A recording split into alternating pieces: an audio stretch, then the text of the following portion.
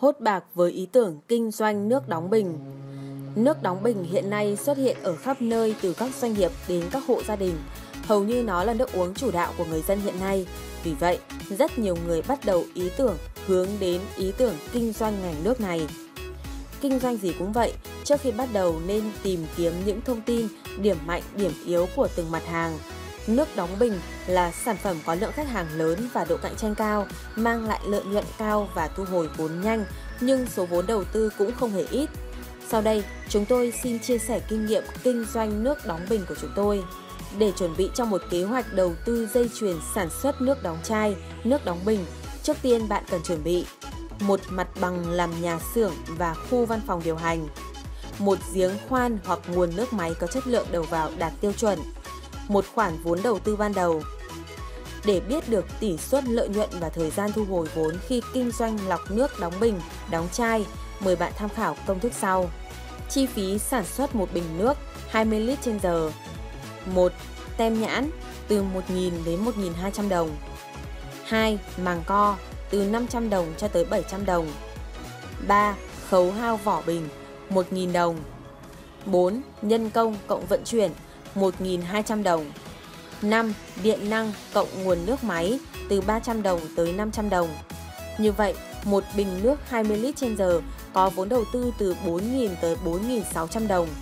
Nhà đầu tư lắp đặt một dây chuyền lọc nước tinh khiết công suất 1.000 lít trên giờ, một giờ có thể sản xuất được từ 40 tới 45 bình, thì một ngày có thể sản xuất được 8 giờ nhân 40 tới 45 bình là 320 hoặc 360 bình.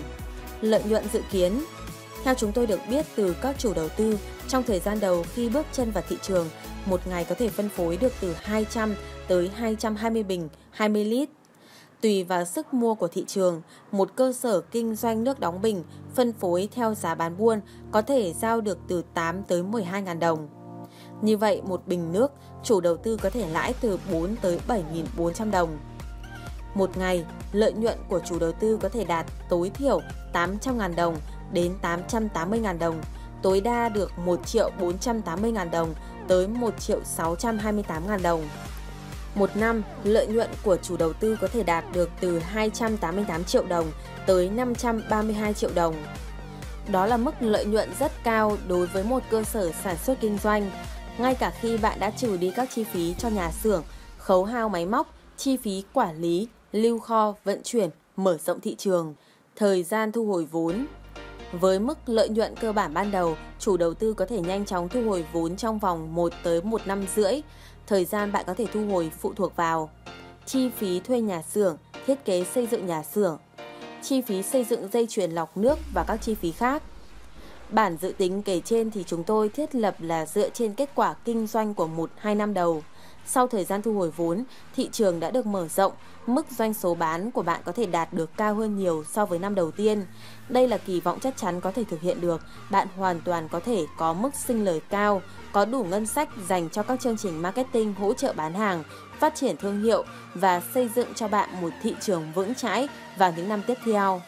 Để duy trì được mức lợi nhuận cao và bền vững, tạo cơ hội để có thêm đầu tư, mở rộng thương hiệu sau này, nhà đầu tư cần lưu ý nên sử dụng công nghệ cao sản xuất ra được nguồn nước đạt tiêu chuẩn, có chất lượng đáp ứng nhu cầu ngày càng khó tính của người tiêu dùng.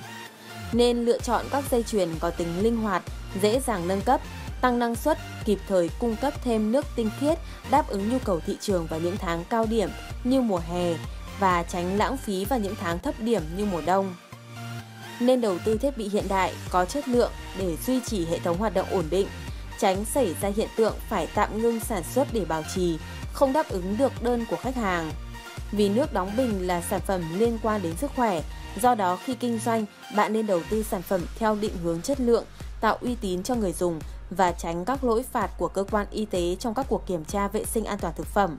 Các việc bạn cần làm trước khi bắt tay đi vào sản xuất. Tìm hiểu thị trường bao gồm tìm hiểu nhu cầu khách hàng, sản phẩm chính, dung tích bình, chai và các thương hiệu đóng bình đóng chai hiện có trên thị trường. Nên phân tích điểm mạnh, điểm yếu và vạch ra kế hoạch kinh doanh để tiếp cận thị trường đích. Tìm kiếm nơi cung cấp giải pháp, thiết bị và dịch vụ tin cậy. Nên tìm các nhà cung cấp có thể hỗ trợ và tư vấn bạn tổng thể từ khâu thiết kế xây dựng nhà xưởng đến lựa chọn công suất, dây chuyền máy móc, thiết kế tem nhãn và hướng dẫn các thủ tục đăng ký công bố sản phẩm, tránh qua nhiều khâu tiền mất tật mang. Khảo sát chất lượng nguồn nước để tìm công nghệ thích hợp. Lựa chọn thương hiệu cho sản phẩm, thiết kế hệ thống nhận diện thương hiệu, logo, tem nhãn, vỏ bình cho các sản phẩm. Quý vị và các bạn vừa được nghe hốt bạc với ý tưởng kinh doanh nước đóng bình. Quý vị và các bạn có cảm nhận như thế nào? Hãy để lại bình luận bên dưới video để chuyên gia của chúng tôi giải đáp. Like và chia sẻ nếu thấy hay. Và đừng quên đăng ký kênh Tài chính Kinh doanh để cập nhật những thông tin mới nhất. Xin chào và hẹn gặp lại trong những video tiếp theo.